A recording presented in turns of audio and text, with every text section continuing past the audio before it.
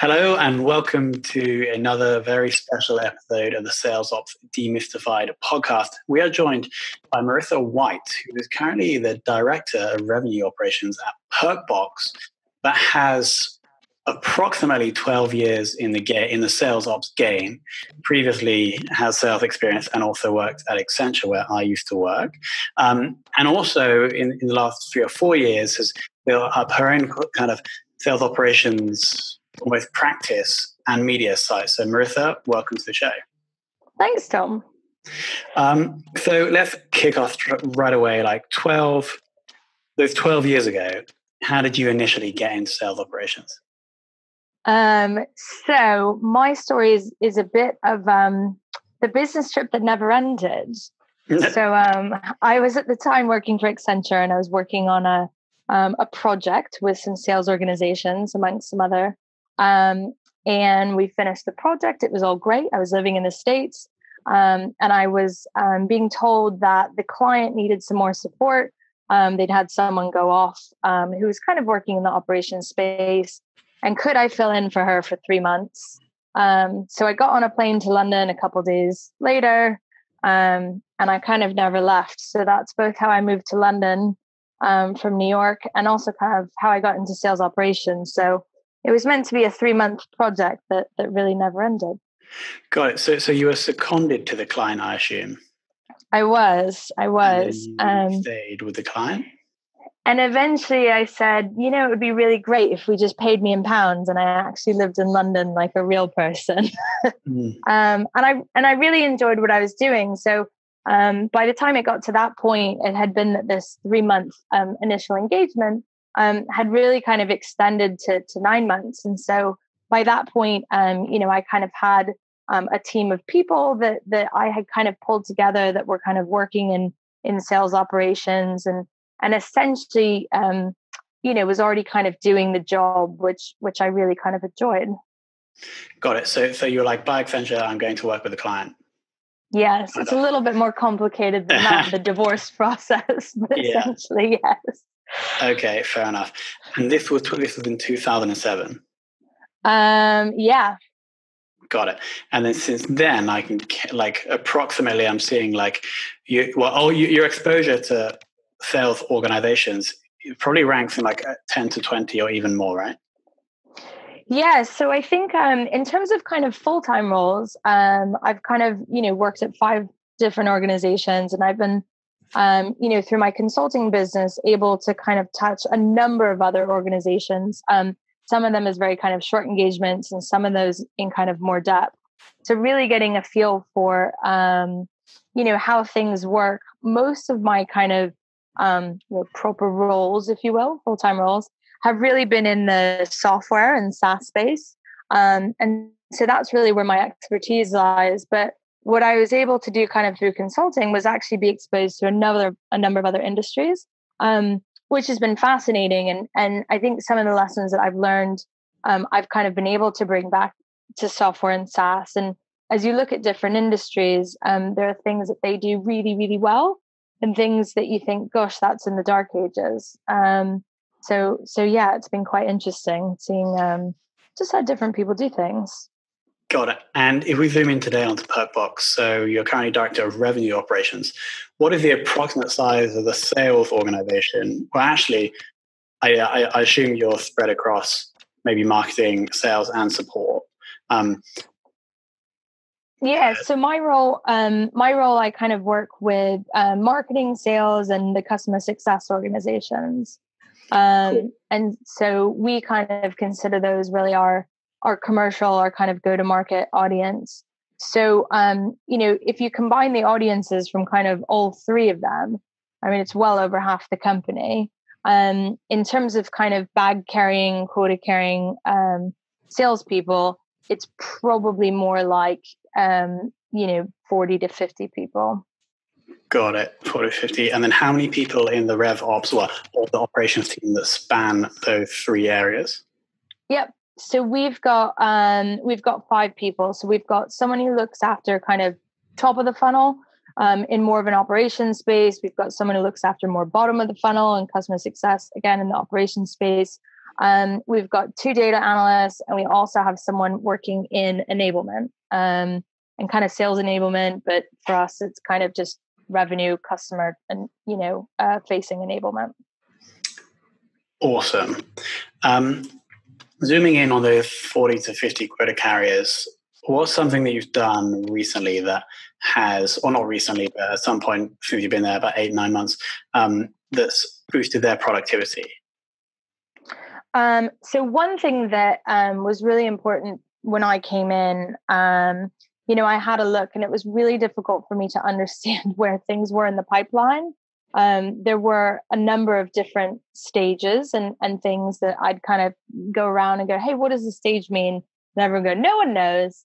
Um, and so what was really tough um, was actually getting managers to, to coach reps and really knowing where their deals were, so how they could help them.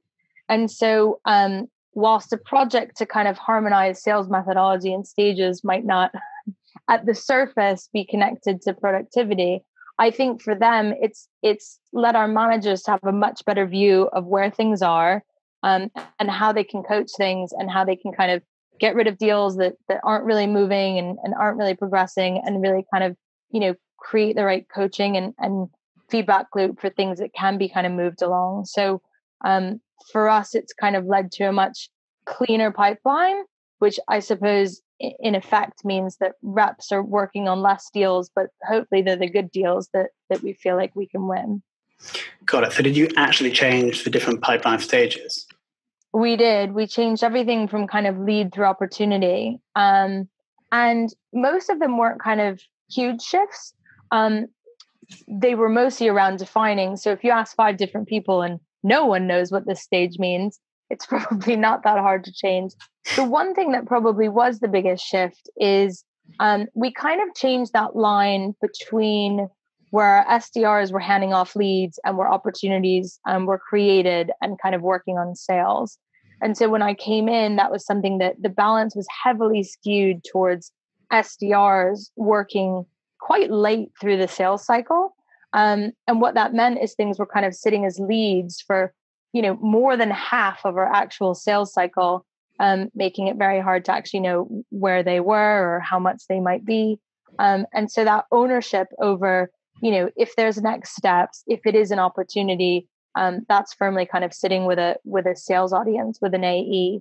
And so that kind of handover and and where in the sales cycle that handover, that was probably the biggest change. The um, the naming and the rest of it um, was probably the first step towards adding more rigor around that, but it probably wasn't a huge shift. Got it. And so, was, was there a rationale for having the SDRs so involved up until that late stage in the process, or had that just like drifted over time? I think it had drifted over time. It was um, it was actually really fascinating because uh, I'd never seen anything like it. So um, you know, normally it's it's it's it's normal to kind of see um, sales um, sales are the quarterback sales are the leaders and and um, you know it's clear that they're running things and and in that relationship between an sdr and sales sales is is the more senior audience. Um, what we were finding is actually the sdrs were the ones pushing sales to push things along. And if anything they were almost kind of driving these things up until the very last stages. And so we didn't want to take that away because it's great that we had an audience that were you know not throwing things over the fence and really kind of taking ownership and moving things along. Um, but of course the longer that they're moving things along the less that they have to either find um, you know new leads or or find time to qualify um, different inbound leads. So i think um, yeah we didn't want to take that away from them because they are a very kind of proactive audience. Um, but yeah the, the balance was probably unlike anything i'd ever seen Got it. Um, and so when you made that change and I assume pushed that line back a bit, um, was there anything that you did to help uh, smooth that process in or, or, help people get help get the reps and the SDRs or into this new way of doing things? Uh, do you have any tips around doing that? Um, so one of my kind of um, first exposures into kind of project management and things um, was kind of back at Accenture, and and the project that brought me into to sales ops. Um, my role was around business readiness, Um, and so it's probably the part of projects that most often gets missed.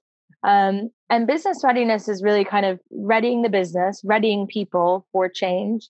And so, um, like, part of that is communication and communication and communication.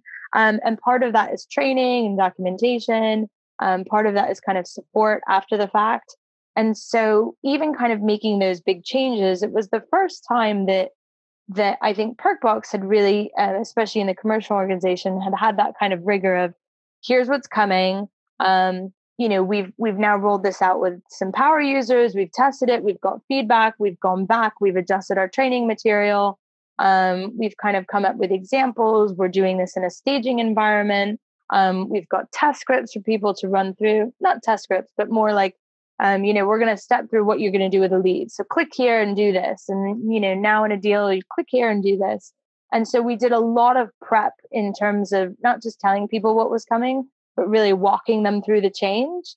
Um, whereas I think in the past, that probably would have been like an hour long session and here are the new things and kind of here you go um, off to the races. And so um, I think, you know, all these kinds of changes that people want to make in operations and you know they want to change salesforce to do something or create a new process all that stuff's actually quite easy. It's it's changing people that's hard. So um, trying to kind of make that as organized and professional and and repeatable as possible. So got it. I mean that sounds like it sounds like a classic like startup where previously some ops manager was just like pushing stuff through versus like a actual business change process that you can only, or the best place to learn those is at the large consulting companies, right? And so it seems like you brought that more structured, organized approach to a startup. Yeah, absolutely. And and it was new. Um, you know, and, and my team even, you know, is is that was kind of a very new thing for them. And I think um, what's been great is we've then been able to kind of take that approach to some other more recent projects that we've done. So something that we also did in Q4 was kind of um, roll out Inside View, which is really kind of a um, data provider for us around um, both account and contact information. So we had really limited um, firmographic information around our customer base, um, which meant that we weren't really good at knowing, um, you know, where our sweet spot was. Which also then makes it very difficult to know with our prospects who are kind of most likely to buy. So that same sort of approach of kind of um, you know introducing that to a small number of people, getting some feedback, putting together some proper training sessions and follow up um, sessions, monitoring the adoption, continuing to kind of communicate, doing all that rather than just here's our training, happy days, um, and going on. Got it. And while we're on that, uh, what if the, the rest of the sales tech stack at Perkbox? So we have Inside View. I'm going to hazard a guess you guys are using Salesforce. Um, I'm a Salesforce junkie, never again with Dynamics. That's all I'll say. Um, you know, which is not to say I think um, HubSpot has a really good place for um, quite small businesses starting out. Um, and I think Salesforce can sometimes be a bit overkill, but um, outside of HubSpot and Salesforce, those are probably my two thumbs up. But yeah, we're we're a Salesforce shop. Um, you know, on the front end, in terms of marketing automation, um, we use Marketo.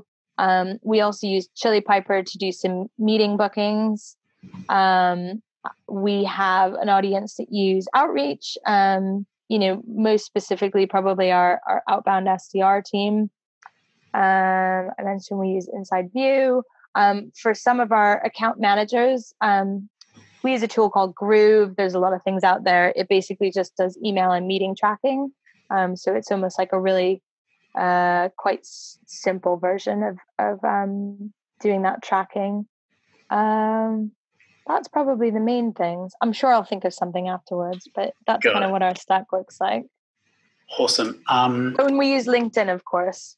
Sales Navigator, of course. Yep. um, Okay, cool. The sales forecasting process, um, how is that currently working?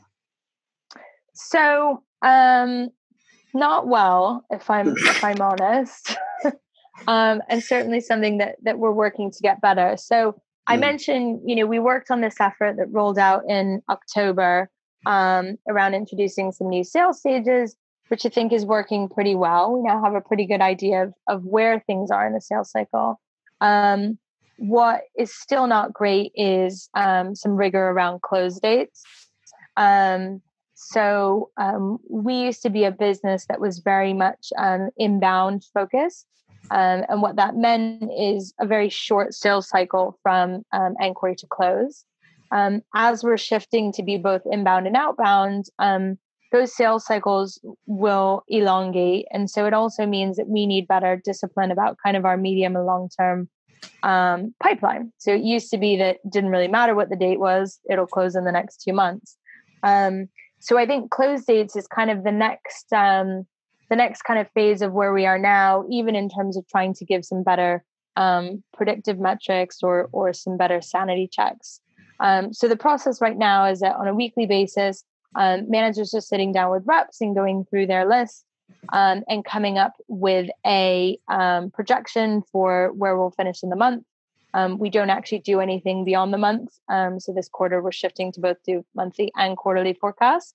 The dream is to be more more long term than that. Yeah. Um, and I mean, I I say not great. Um, I say not great because from a sales ops perspective, it's not very scientific. But to give credit where credit is due, it's pretty accurate. um, you know, we did some sales forecast accuracy reporting um, late last year. Um, the guys were pretty good. I, I frankly don't know how. Uh, maybe it was just a bit of luck. Um, certainly on our kind of SME business, it's very transactional. So um, as long as we're keeping an eye on activity, that should be actually pretty predictable. Um, but even from our kind of mid-market corporate businesses, maybe it was a stroke of luck. But um, you know, they're really doing quite a manual deal by deal by deal with every single individual. Um, and sometimes that can be quite a long list. So I think what we're trying to help them do this year is is be a little bit less manual around that. So instead of having a Google sheet with a list of deals for this quarter, maybe it's a Salesforce report with some weighting, and then we kind of do some tweaks. So, got it. Awesome. Um, and then over the uh, the twelve or so years exposure to sales metrics, if you had to only measure one for the rest of your sales ops career, which would you choose? That is a very good question. Um, I'm trying to think of an answer that doesn't actually have eight parts, so I'm kind of cheating. Mm-hmm. Yeah. Um, I mean, I think for me, if you're going to look at kind of one thing, and I don't know if this is cheating or not, but um, I've always kind of worked at, you know, separating out whatever that target is into a lead plan. And so, whatever those kind of stages are, um, let's say that there's leads, opportunities created, and deals won to make it very simple. Um, looking and monitoring those things on a weekly, monthly basis um, will give you a pretty good idea of where things are stuck and where things are going well or not. Um, you know, they are, it's kind of combines some leading indicators with stuff at the top from some stuff that's happened. But if I had to kind of like look at one dashboard for the rest of my life because I'm finding it very hard to kind of boil down to one metric. But one thing, one I, I'd look at progress against our lead plan. So how many, you know, how many leads did it say I was meant to create this week? How many opportunities did it say I was meant to create this week? If we don't do that, then we're not going to deliver our February number. So for me, it would just be kind of monitoring that lead plan. Got uh, it. And, it, it. and so the dashboard you you would want to see is for all reps, all SDRs, total number of leads, total number of opportunities over time. And so you can see how those numbers fluctuate, and that's going to give you a very good idea as to whether you're going to hit the forecast. Well, I think for me, it's just like, what is that against target? So it's all well and nice to have a line graph saying these numbers are getting better or these numbers are getting worse. But I really want to know kind of like in January, I said I'd have this many leads and this many opportunities. And like, how are we tracking towards that? And, and did we hit that? Um, yeah, it's, it's for me, the trends are interesting. Um, but hopefully if you've done your plan right, it's actually kind of that, that, you know, uh, achievement versus target. Got it.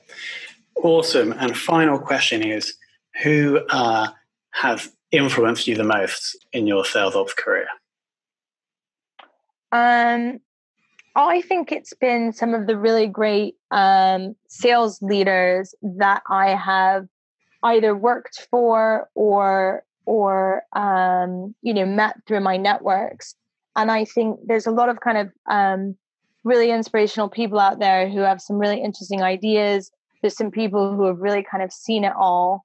Um, I think for me that the balance between sales management and, and kind of like sales ops is to me it's like a batman and, and robin relationship so batman's clearly the senior person. They're in charge. You know that's your kind of sales leader. Um, but hopefully robin and kind of sales ops like one they can kind of fill in when batman's not around. So forecast reviews don't really stop when when a sales leader goes on holiday. Much as sales reps would like to think otherwise. But they're also just kind of like you know those second pair of eyes telling them to watch out for things that maybe aren't on their mind. So like hey watch out. There's a baddie behind you hey we've totally stopped looking at multi-year deals and they've gone down the tubes so i think for me it's those really kind of great relationships um, and people who have really kind of elevated me because they've seen it um, as a very important role so i mean i wouldn't say that we're equals but people who have really kind of elevated me to to say, hey, we can kind of both do this. I'm clearly in charge and you're helping me, but but we're both two pieces of this puzzle that can accomplish more. Got it. And do you have a, like a specific name of one that really has, or or have they all been really good?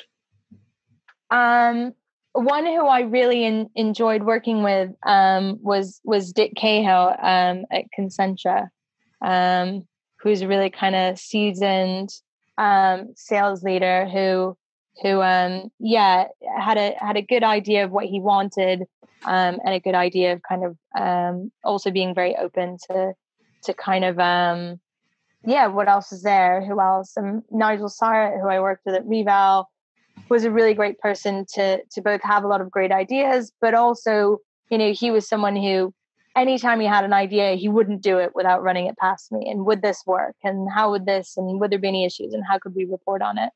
Um and I think those people who have been kind of quite empowering as well have also allowed me to bounce my ideas off of them and, and kind of refine and get better.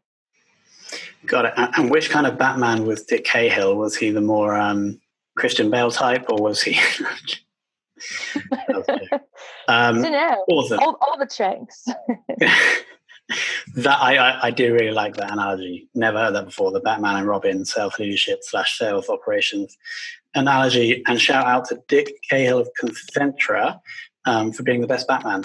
Um, Marissa, thank you so much for that. There are three things I want to quickly highlight that I really liked.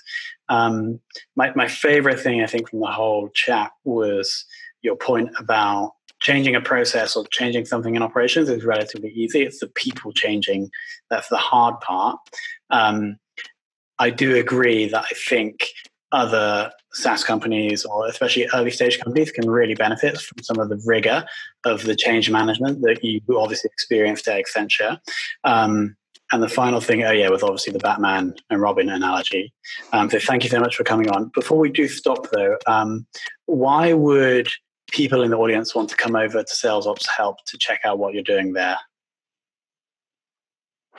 Um, so I think what I've done is tried to add a few blogs around um, some of the common questions I get. Um, so things like, um, should my sales operations organization be on a commission goal, and kind of thoughts around that, or um, what does change management look like, and and you know what types of scale changes need a proper business readiness um, and what actually should just be regular communication so i've tried to take all those kind of um, common questions i get and uh, and distill them i like to also blog about the things that kind of make me scratch my head um, that i that that the process almost forces me to think through it so hopefully there's some easy um, easy advice there for everyone Awesome. We'll link down below this video to Sales Ops Help. Marissa, thank you so much for coming on. It's been a very insightful session. Um, thank you for your time. Thanks so much, Tom.